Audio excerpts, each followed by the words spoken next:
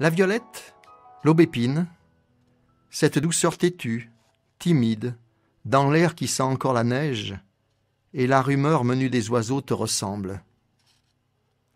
Regarde par mes yeux le dessin de la terre. Elle monte vers un ciel, un village où le temps veille d'une vie immobile. Tu l'aimerais au seuil du printemps. Regarde le pelage de blé, la promesse bourrue. Écoute au fond de moi l'alléluia dans le soleil, dans la brume et le vent de l'alouette